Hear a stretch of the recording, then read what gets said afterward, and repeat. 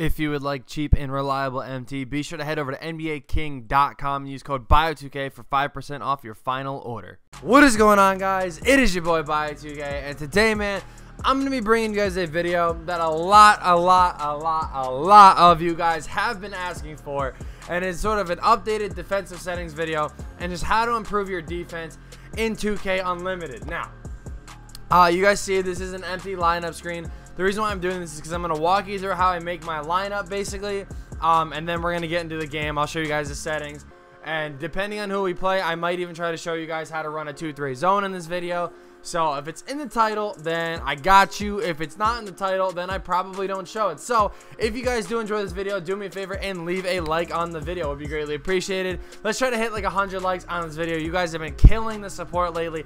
Like absolutely insane. Been killing it. So yeah, do me a favor and hit that like button if you guys do enjoy. Also, if you guys are new to the channel, be sure to consider hitting that subscribe button.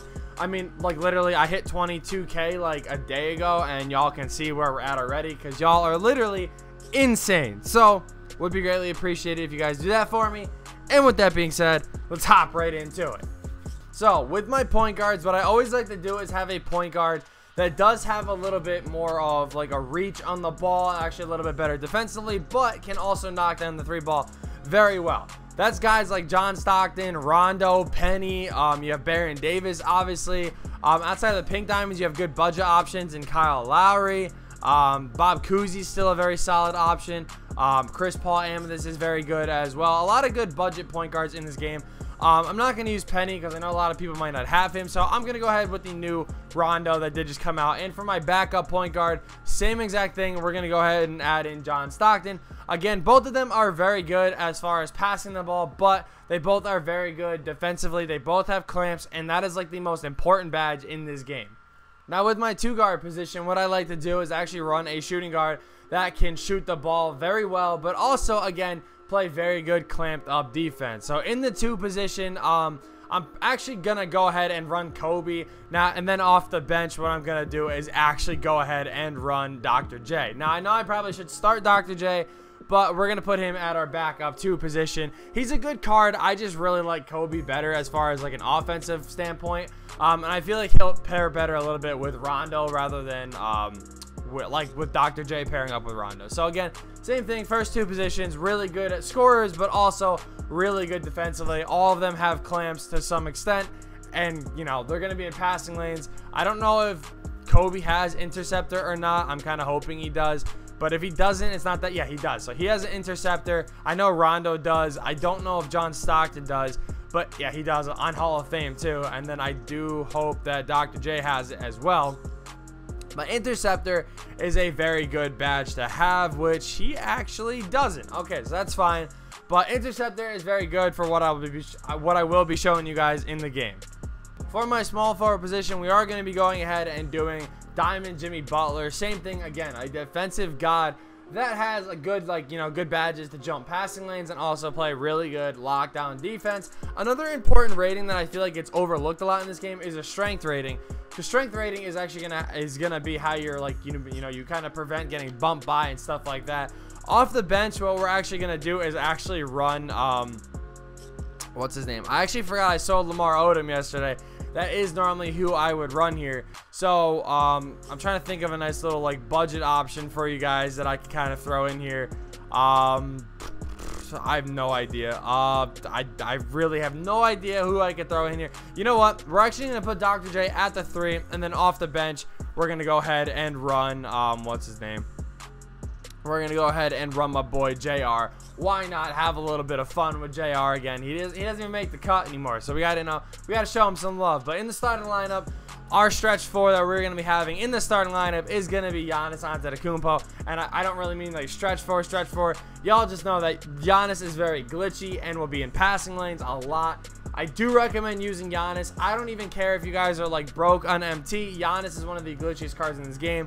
So if you can get his diamond card, his amethyst card, even his heat check card, make sure you pick that up. It's a very good addition to your team to have, believe me. Off the bench, what we are going to be doing for our power forward here, um, defensively, I don't know really who I want to run. I think I'm just going to go ahead with Blake. He's a very good, you know, he's actually a very good stretch big. His defense kind of lacks. However, his strength rating is pretty good. So he does stay in front of people a lot. It's just he's going to kind of get exposed everywhere else. Now, our centers are actually really important. I tell you guys this all the time. You need to make sure that your centers, one, are a stretch big so you're not getting killed by off ballers, and two, need to make sure that they do have either like intimidator or just really good defensive badges to make sure that they're actually blocking shots and they're actually influencing shots in the paint. So D-Rob is going to be my starting center here. You guys can just see the amount of amazing badges he has. Very good, you know, offensive badges, but also really good defensive badges as well. Definitely a very good center. Now, I don't expect you guys to all have D-Rob at this point, so my backup center, I was going to run Yao, but I think a nice, somewhat budget option for you guys would be this Pink Diamond Wilt Chamberlain. Now, he can't shoot nearly as well as I want him to, but you can work your way around that if you kind of know what you're doing. Wilt Chamberlain is a very good post player, so if you go in the post and look to kick out to any of these guys, they will knock down the three efficiently, so you're not really, you don't really have to worry about getting off-balled or anything like that. The reason why I recommend running a good stretch big next to Giannis is because Giannis can shoot the ball very well. His release is very good. But I, just for me personally, I brick a lot with him, so I like running D-Rob there. But again, Wilt Chamberlain, same thing, has Intimidator, has all that fun stuff to make people miss like wide open layups and stuff. All right, so we got a match here going up against NParm 04. Very interesting team. Um, he does have a pretty good team all around, but immediately I'm looking at two players in his lineup. Um, I think DeRozan has to have clamps because I know a lot of comp players are using him. But Terrence Ross and Damian Lillard, neither of them do. Like, I don't think. So, I know Lillard doesn't, but I'm pretty sure that Terrence Ross doesn't either. So, immediately, you know, just pregame thoughts for you guys. Um, I'm to be, uh, you know, probably attacking them. One thing I wanted to tell or ask you guys too is, um, if you guys know who Throne is, he does a series on Madden called like Inside the Inside the Mind, and he basically walks you through everything he does in the game. So if you guys want me to do something like that with 2K, let me know. So defensive settings though, here we go. Immediately, I go tight and tight. It just kind of helps with jumping passing lanes a little bit and also, like, you know, sticking good, like, on-ball defense or off-ball defense when you're kind of rotating yourself. Um, force direction, I always put this on middle because when you put this on middle, it'll force people to the middle of the floor, which will result in a lot more bump turnovers and stuff like that. Um, coming down here, I do drive help on no help and screen help on no help. When you, like, if you do this, you have to fix rotations yourself like as far as you know when people are bouncing between screens left and right you have to make sure that you're actually able to fix the screen yourself. Like you see on the screen right here where like x's or you know like when the arrow's inside the paint the air, or the x closest to the arrow to the left that is where you would have to bring your guy up and rotate. Or if there's another guy on the perimeter that would be where you'd rotate as well to fix that. Other than that there's nothing else that i really do like in this menu I know a lot of people like to do um, like the switching and stuff like that. Nothing else really needs to be done. The only other thing I do recommend doing if you guys are struggling a little bit is stay attached puts on yes. It'll help actually cover a lot more people, making sure that they're not like just left wide open. Um, so yeah, that's just a little tip right there. And then you just want to make sure that your coaching, your adaptive coaching en engine is turned off. Because if it's left on, they'll just change things by themselves. And you definitely don't want that happen. Oh, okay. We get a nice little bump steal right off the rip. All right. See, like, that's what I'm talking about. Right away, we're getting that bump steal. The only thing I did, like, that you guys probably wouldn't have seen yet is I actually put it on um, no threes. So right here, if you hit right on the D-pad and scroll over one, you're going to see no threes. The next thing you're going to want to do is put that on wall up. When you put it on wall up, your guys will naturally just protect the paint. That is perfect defense right there. They really didn't call a foul, which is good. Um, but yeah, unfortunately, we just don't grab the rebound right there. But like I said, right away we're putting it on no threes and we're putting it on wall up. Now when we do that, the whole purpose of that is to make it so um God damn, bro. What a block by freaking uh what's his name by Zion, huh? Like goddamn. Let's go Butler right there. That's a good steal again. Um, you guys can see like that is all from freaking. Oh my God, what am I doing, bro? I knew he was trying to bait that, and my dumbass still threw it. That's on me. Like that's just that's just my fault right there. Um, but yeah, so again, wall up is just to protect the paint on fast break situations here. Let's go. Easy Giannis. There we go. Um, so yeah, again, no threes, wall up. You're going to want to put this on play physical. And then the final one you're going to want to put is crash the glass. Now, when you have it on all of those, what actually ends up happening is, um, you know, crash the glass. Obviously, your guys will be going for a little bit more rebounds. And then play physical when your guys are getting bumped a lot, they're actually going to be kind of like fighting back in different ways and stuff like that. That'll actually help you, you know, play a little bit better defense and whatnot. Um, sorry if you guys can hear my PS4.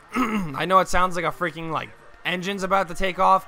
I have no idea why it's that loud. I really have no idea. Right there, we're in the passing lanes, getting a good steal. Giannis, let's go. Push this tempo out, buddy. Hop stepped up all the way. Easy layup. I'll take that. Nice fast break bucket. Right away, though, we already have like three steals, and we even have like a little bit more stuff that should be more steals.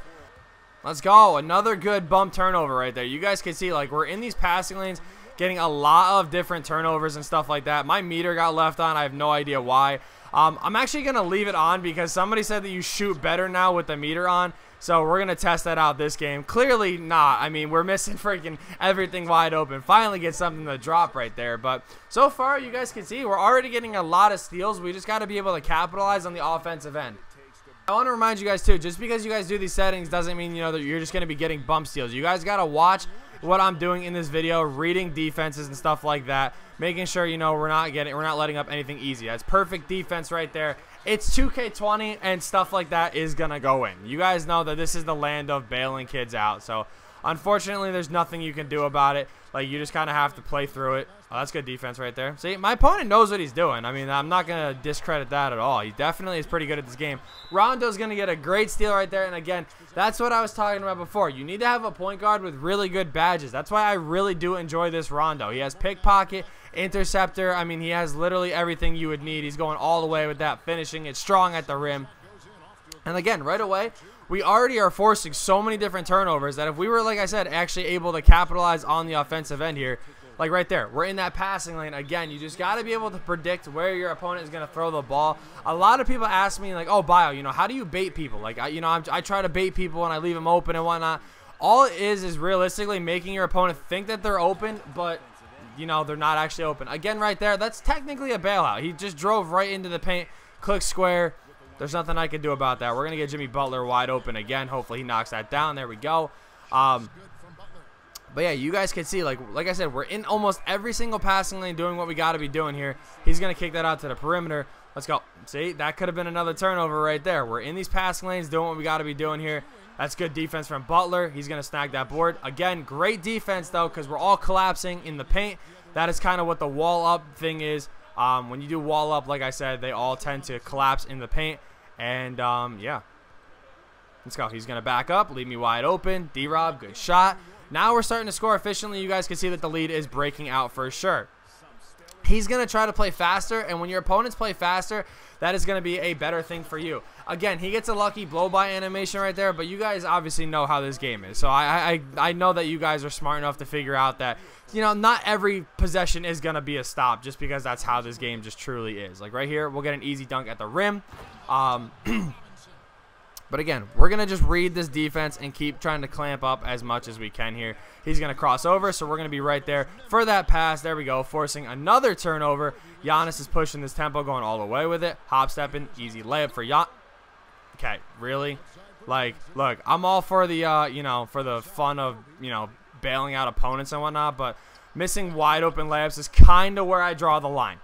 I just want to show you guys, he did shoot a good percentage, a 7 out of 10, Three of those shots you guys saw shouldn't have even gone in, and he had seven turnovers in the first quarter. I'm telling you, these settings really work. You just have to fix the rotations yourself and be in those passing lanes, and you will shut down opponents so fast. Now, I know a lot of you guys are going to be asking me too, like, oh, Bio, you know, this opponent, he's just trying to five out me. Like, what do I do to stop that? Five out is one of the hardest things to stop in this game. Um, I'm going to make a whole separate video on how to potentially stop it. It's not guaranteed. There's no real way to stop five out. Like if you go up against a guy like Splash, you're not gonna stop it. Like just doing the same thing every time. It, it ain't gonna happen. Like again, right there, he's gonna get bailed out. There's nothing you could do about it. Um, but yeah, I got y'all with that video coming soon. Um, but again, if you get an opponent that's just rim running, best thing to do is lock up in a zone. And again, I will probably make a whole separate video. Now that I think about it, on how to run a zone because there is a little bit more talking that goes involved to it because a lot of people think that you could just set up some settings and you'll be good at running a zone. It just doesn't really work that way. So, um, unfortunately, you know, like I said, can we pass the D-Rob? Like, god damn, bro. Thank you. I was gonna say he's just chilling in the paint. Like I'm gonna take my defensive three and like literally one more second right there. Rondo again, a great addition to this team as well. Seven and four for him already. So right here, you guys again can see the score. We're kind of starting to flood our opponent here. We have a nice little 15 point lead, and again, like we're gonna just sit in the zone for a little bit, kind of see if he knows how to break it. That's a terrible shot right away. See, he's kind of flustered too, and when you notice that your opponent is flustered, you have to keep attacking him. Like honestly, you have to keep playing fast, making sure you're scoring efficiently, because if you keep doing that, they're gonna quit. So again, we're pushing this lead out as much as we can. He's probably gonna look for a corner thing right here. That was a late contest on me. But again, he's got no momentum on his side, so we're going to get that stopped. DeRozan's just going to green that because he got the board. Like I said, unfortunately, that's the only downside about running a zone is uh, you actually, you know, your opponents will get left wide open just based on the fact that they get freaking rebounds all the time. So it is what it is on that standpoint. But, uh, yeah, going all the way. Oh, I thought he was going to rotate in. That's on me. I really thought he was going to rotate in on that. So basically at this point, all my opponent is really doing on offense is just rim running. Um, oh my god, I thought Butler stayed in the corner. I didn't realize that he freaking rotated like in with the defender. Well, it makes sense now, but um, like when I think about it. But yeah, all he's really doing is just kind of rim running and getting away with it. So once we shut that down, like he isn't gonna know what to do right here. So like again, D like that should be a block. There's nothing else I can really do. He's literally just rim running and getting easy dunks, but you guys can see, we definitely have a sizable lead here, just mainly from all those bump turnovers and stuff like that. That is just the way that we, you know, like I said, that's the way I play Unlimited. You guys see all the time when I stream and whatnot. Um, these defensive settings really are what, like, help me do so well in Unlimited. Like I said, is just based off the fact that when I'm doing all this, like it just it's helping me get so many easy steals, which has helped leak or help me get easy like transition buckets and stuff like that. And that's really all it is. Like again, he's gonna rim run and just yeah. Let's go, Giannis! Let's go, baby! See, that's what I wanted to see. I wanted I wanted a contact dunk animation. I finally figured out how to kind of shut this guy down. He's pretty much probably going to quit after this point because, yeah, now he's just freaking... He realized that I know how to, like, stop him from just rim running entirely now. And, uh, yeah, ever since I did that, yeah, he has no idea what to do. So, now the floodgates are officially just about to open and we're about to wreak havoc here. You guys can see he's shooting 58% even though the game has been kind of selling me the whole time. That should have been a steal right there. But yeah, we have a really good amount of steals here. We're playing great defense all around. We're shutting down the lanes. We're doing a little bit of everything. Again, you're going to get blow-bys on. You know, all this stuff is going to happen to you, but you know, you still I still have a sizable lead in this game and I'm sure you guys are going to as well. Like I said, it's all about playing smart, playing efficient, being in those passing lanes, and just getting a lot of bump turnovers. So I've never seen this happen before, okay? My opponent, right, throws it into three people in the paint, gets the animation when they do this, you know, they pick up the ball, he clicks square, Will on his team just goes and flops. The ball goes through the net, he gets an and one, he gets mad and quits. I don't know. I don't know what happened there. All I know is is that my opponent had 13 turnovers in the first half of basketball. I'm telling you, that is how you shut down your opponent by being in passing lanes, by getting a lot of bump turnovers. Because, like I said, when you force the floor to collapse, it causes a lot of bump turnovers for you to get easy, fast break buckets. You just got to make sure you're capitalizing on offense, and it's basically that simple. So, thank you guys so much for watching. I hope you guys did enjoy. I hope this video did help you guys out. If you guys do have any questions or anything like that, be sure to ask me in the comment section down below. Um, and yeah, so thank you guys so much for watching once again. And with that being said, I will see you in the next video.